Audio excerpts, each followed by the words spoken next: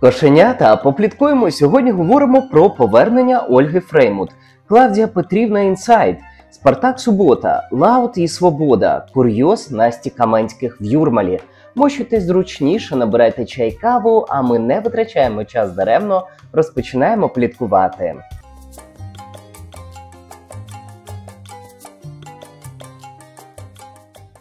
Отже, про що ж буде наш сьогоднішній випуск, а точніше його початок? А справа в тому, що Ольга Фреймут вперше вперше за довгий-довгий час повернулася до України зі своєю молодшою донькою.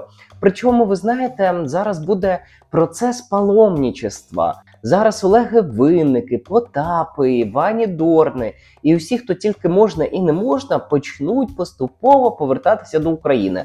Ну крім Потапа, бо в нього там є певні проблеми з документами. В цілому, в цілому, ви зараз побачите невідворотній процес, як усі будуть перевзуватися і казати: ви нас неправильно зрозуміли, у нас не було виходу. Нам потрібно було знаходитися за кордоном е, в цілях власної безпеки. А що стало тому причиною цьому паломничеству зірковому, ви теж побачите вже зовсім скоро у найближчі місяці. Тож давайте поспілкуємось в коментарях. Я би хотів почути вашу думку, як ви ставитесь до подібних персонажів шоу-бізнесу, які не знаходились в Україні під час війни, під час великої війни, і ось почнуть активно повертатися, коли все стане більш-менш тихо та спокійно. Давайте обговорювати. З вас обов'язково вподобайка, підписка, коментар для просування цього ролику. Я нагадую, кому що відомо про ту чи іншу особистість, надсилайте в директ мого інстаграму. Ви залишитесь анонімними, а ми зможемо додати штрих до портрету цієї чи іншої особистості.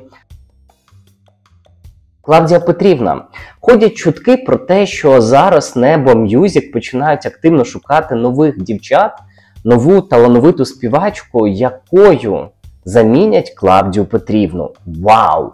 Я поки що не знаю, наскільки це правда, але такі чутки в професійних колах вже з'явилися. І що лейбл не робить великих ставок на Соломію Опришко, розуміючи, що після того, як вона в палаці спорту під час свого великого сольного концерту розкриє обличчя, пройде зовсім трохи часу і впаде попит та цікавість до Соломії. Але встигли все запатентувати, підписати усі контракти. Бренд Клавдія Петрівна не буде належати Соломії, і відповідно можна цей бренд юзати як гурт Віагра. Ну, типу, назва одна і та ж, дівчата змінюються. І мені просто дуже шкода, що Соломія, будучи такою талановитою дівчинкою, може вляпатись в цю історію, і не факт, що вона зможе з цієї драми спокійно вийти та не зламатися. Ості не є якщо що, її там двоюрідним чи троюрідним братом. Вони просто друзі, одногрупники разом навчалися. Тож будемо спостерігати за подальшим розвитком подій, але з Небо Music витікає інформація, що так на Соломію вже ставки не роблять. Надоїла дівчинка лейблу. Хм, Гарячий інсайт, ексклюзив. Ще перевіряємо, але ми з вами завжди говорили, говоримо і будемо говорити на цьому каналі, що диму без вогню не буває. Це так точно. Як ви ставитесь до творчості Клавдії Потрібно, давайте обговорювати. А далі у нас по плану я б не хотів би довго приділяти цьому персонажу е, часу, але трошки обговоримо. Значить, найближчі дні Спартак Субота, як повідомляють наші джерела, наші кошенята, планує знову повторити спробу втечі з України через Могилів Подільський, кордон з Молдовою. Розглядає ще кілька альтернативних пунктів перетину. Є чудова нагода йому завадити, як я сказав в своєму телеграмі. До речі, підпишіться, посилання в описі та в закріплених. Наша пліткова спільнота дуже активно розвивається зараз в телеграмі і є невід'ємною частиною нашого з вами пліткового життя. Тож Спартак Субота незаконним чином. Прощупає підґрунтя, як він може перетнути кордон. Перший раз йому не вдалося, а зараз буде нова спроба, друзі. І я думаю, що на це потрібно звернути увагу, аби ви елементарно розуміли, на кого ви підписані і ким ви захоплюєтесь, не дай Боже, якщо ви захоплюєтесь Спартаком Суботою. Що ви про це все думаєте? Давайте обговорювати. Як повідомляє телеграм-канал Музвар, LAUD виграв суд над екс-продюсером Ігорем Тернопільським. На сьогодні це ледь не перший такий правовий кейс в українському шоу-бізнесі. Продюсерський контракт з Тернопільським було розірвано через істотні порушення продюсером умов співпраці зі співаком Лаут. За всі роки співпраці з лейблом Enjoy я жодного разу не отримував роялті. Жодного. Коли почалася велика війна, то я не отримував від свого наставника, тобто продюсера Тернопільського, рішень, ідей, пропозицій, виконання е, його прямих робочих обов'язків по договору і залишився сам на сам із викликами війни. На пропозицію про мирний вихід з договору мені називали непосильні суми. Прокоментував Лаут. Також артист наголосив, що колегам треба бути обережними з продюсерськими контрактами. Треба бути обережними з будь-якими контрактами, які ви підписуєте. І це навіть не обговорюється, тому що вляпатись можна дуже серйозно.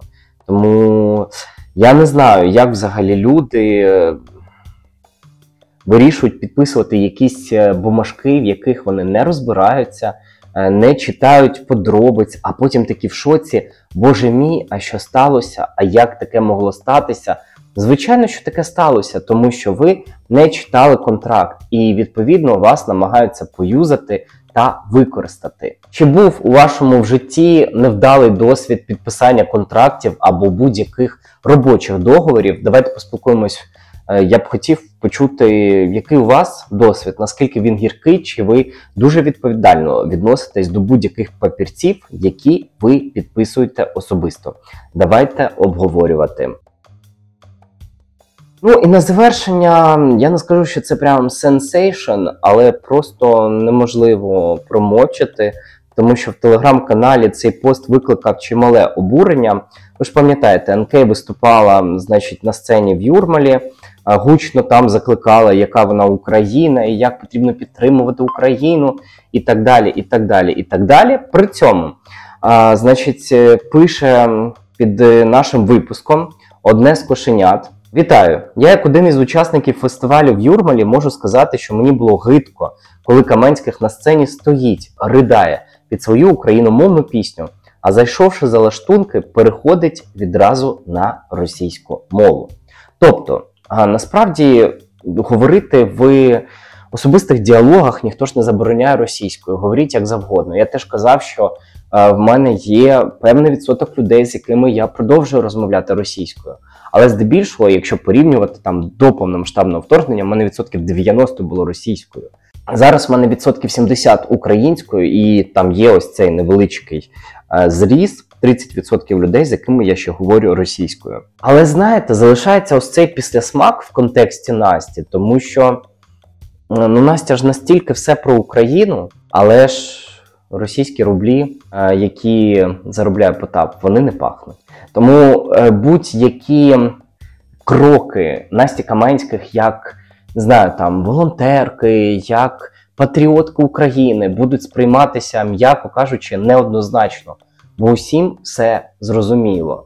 Усім зрозуміло, що себе представляє Настя, е, які в неї цінності, так би мовити, і на чому вона зациклена. Такі у нас сьогодні з вами новини та плітки. З вас обов'язково вподобайка, підписка, коментар. А я не прощаюсь, кажу до зустрічі у наступному випуску пліток, які виходять кожного дня на цьому каналі, окрім суботи. Слава Україні! Разом до перемоги!